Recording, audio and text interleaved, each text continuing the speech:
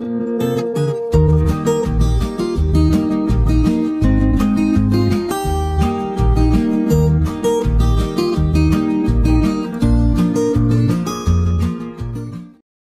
araw!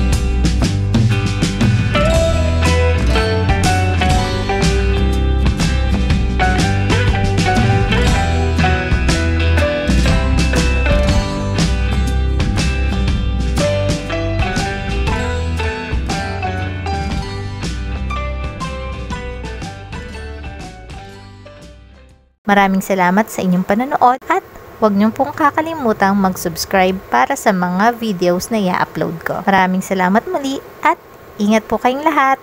Bye-bye!